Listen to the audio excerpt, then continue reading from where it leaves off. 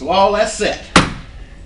Boys, I made a bad investment last time we was in DSCW. That's my fault. I had us going for one belt, but I looked around. I got the CEO over here. I got the sergeant at arms over here.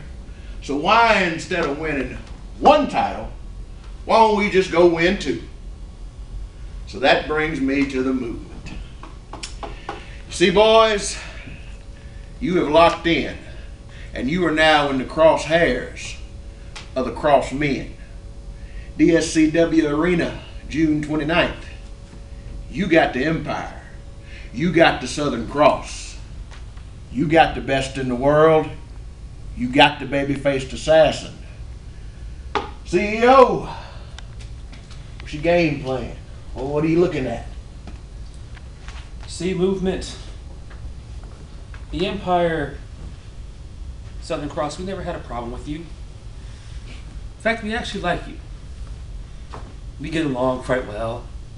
You know, we talk, we chit chat, all the little things, make fun of Ray Ray.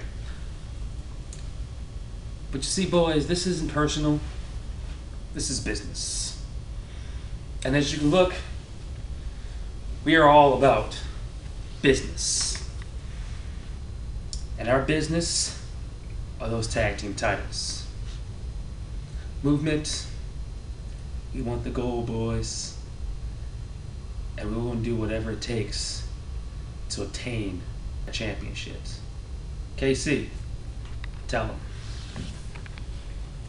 You know, for as many many accolades as we have, we can always stand to give just so much more. no matter where we go, no matter where you see that emblem, that, that Southern Cross just show up, that's a sign.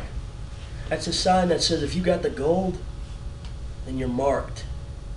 Now, I can't necessarily say that you can't uh, fight it off, you can't uh, put up your best shot, but I can say this.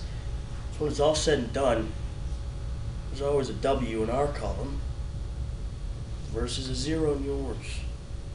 Now, if I were you boys, I would really think about another line of work, or I just wouldn't be in town.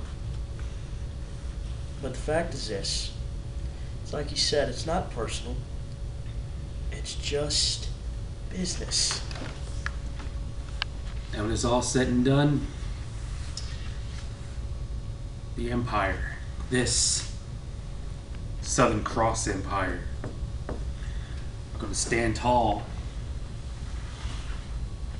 as your new tag team champions. Gentlemen,